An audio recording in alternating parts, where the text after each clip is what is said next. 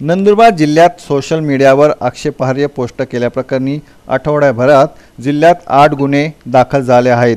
त्यामुळे सोशल मीडियाचा दुरुपयोग होत असल्याचे दिसून येत आहे. सोशल मीडियामार्फत अनेक समाजाची भावना दुखावल्या जात असल्याच्या पोस्ट व्हायरल करणे Facebook Instagram Twitter WhatsApp status ठेवण्याच्या प्रकरणात वाढ झाली आहे. त्यामुळे पोलीस प्रशासन समोर मोठे आव्हान उभे राहिले आहे. मात्र सध्या अनेक युवक सोशल मीडियाच्या आहारी जात असून त्याचा दुरुपयोग होत आहे.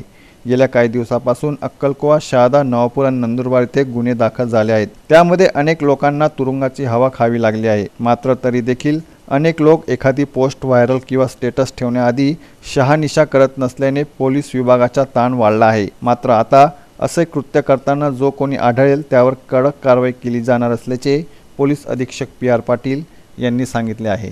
काही ठिकाणी विनाकारण काही बाबींच्या समर्थनार्थ किंवा निषेधार्थ काही स्टेटस ठेवण्याचं किंवा काही पोस्ट करण्याचं प्रमाण जाणवलं. त्याच्यावरून पोलिसांनी नंदुरबार जिल्ह्यामध्ये नऊ गुन्हे एकूण अशा प्रकारचे दाखल केलेले आहेत आणि नऊ आरोपींना तातडीनं अटकही केलेली आहे.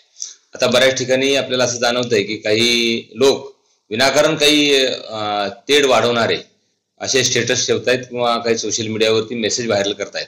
तर अशा आक्षेपार्ह ज्या काही पोस्ट आहेत त्या अजिबात प्रसारित करू नयेत. असं या निमित्तानं अशा इलेमेंट्सना इशारा देण्यात येत आहे.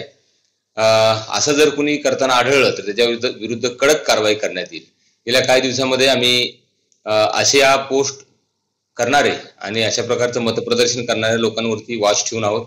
आमचा सायबर सेल यावरती काम करतोय आणि सोशल मीडियावरती रिॲक्ट होताना नागरिकांनी अत्यंत जबाबदारीनं रिॲक्ट व्हावं.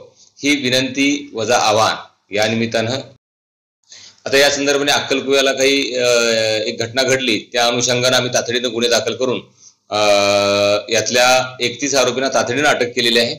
आणि परिस्थिती अत्यंत चांगल्या रीतीनं हाताळली. परिस्थिती नियंत्रणात आणली. परंतु हे जे काही अशा प्रकारे परिस्थिती बिघडवणारे घटक आहेत त्यांच्यावरती आमचा वॉच आहे. अशा लोकांच्यावरती निश्चितपणे कडक कारवाई केली जाईल.